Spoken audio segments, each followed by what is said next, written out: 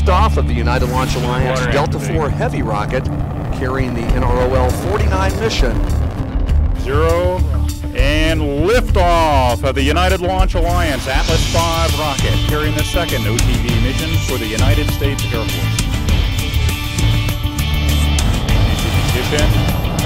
Zero. And liftoff of the United Launch Alliance Delta 4 rocket carrying the NRO L-27 Liftoff of the United Launch Alliance Atlas V rocket carrying the NRO L-34 mission for the National Reconnaissance Office.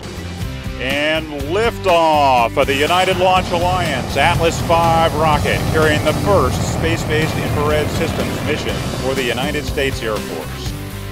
and liftoff of Aquarius and the SAC-D Observatory on an international mission to study Earth's salty seas. Have ignition of the main engine.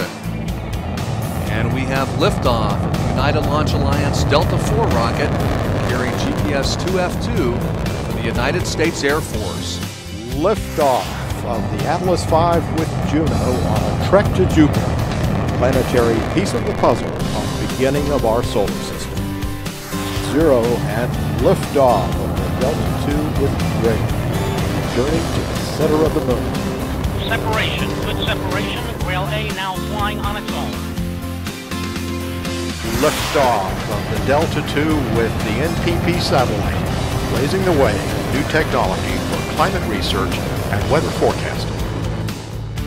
And liftoff of the Atlas V with Curiosity, seeking clues to the planetary puzzle about life on Mars.